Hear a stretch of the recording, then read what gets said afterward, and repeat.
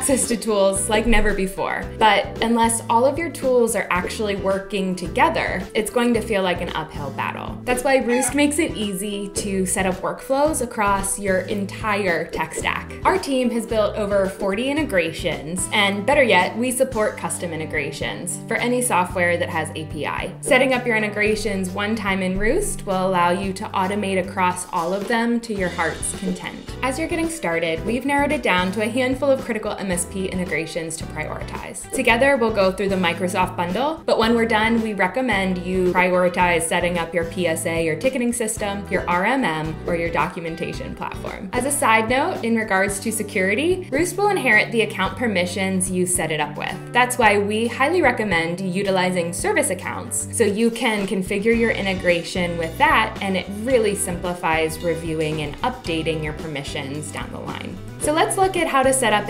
in the platform. From the homepage, go to Configurations and Integrations. There are a few core system integrations set up by default, and to install something, all you have to do is search by name and click it. This will take you to the configuration page. Make sure to read the corresponding help document articles when you are installing each integration. Even if it looks like a simple setup, we always recommend taking a look at the documentation to ensure your settings are configured correctly. A good example of why would be our RMM integrations, and many of them require you install a component or a script in your RMM for it to function correctly. With that caveat, let's get started. From the integrations page, search for Microsoft Cloud Integration Bundle. When you first open it, you'll see accordions here for each separate Microsoft integration. The first step is selecting the integrations you want to install. We highly recommend CSP, Graph, and Exchange Online in order to use our pre-made solutions or some of our getting started crates. Then we'll configure the parameters, starting with the authentication app registration. Now, here you have a few choices. The Rewst Microsoft Cloud Connector has dynamic permission management. It's designed to make things a little easier as you wade through the myriad of available Microsoft permissions. However, if you have very specific or custom permissions that you want to set up, select the owned app registration. That will allow you to build your own in your Entra tenant, and that's from scratch. It'll trigger follow-up fields and you can customize the exact permissions exactly how you want it. Next, we'll set up the tenant integrations. It shows a list of the permissions available within each integration. Use the search to find the exact permissions you're looking for, or you can select all to select them all. And once you set your permissions, you can authorize all integrations with a single click. That'll prompt you to log in. After you authorize, you'll see everything on a single page. Over on the right, we have a claims table that shows you the user that authorized the integration the VPN will show you the tenant ID that's currently associated with your integrations, shows you the app registration that was used, and a link to open the Azure portal that brings you to the enterprise application that gets installed within your tenant. Now that we have our Microsoft bundle set up, these are the other types of integrations that you should prioritize. These integrations will be required if you try to unpack our getting started crates, the PSA or ticketing system, your RMM, and your documentation platform. If you have found you want another integration integration that has this fantastic API, but Rewst doesn't have it integrated, you can use custom integrations and connect with any product that has API. To turn it on, all you have to do is go into settings and select feature preview. There you'll find custom integrations. Click the enabled button, and if someone already has it turned on, it'll say disabled in the corner. By enabling this, you'll be able to find and install custom integrations, and you can install as many custom integrations as you need. You did it!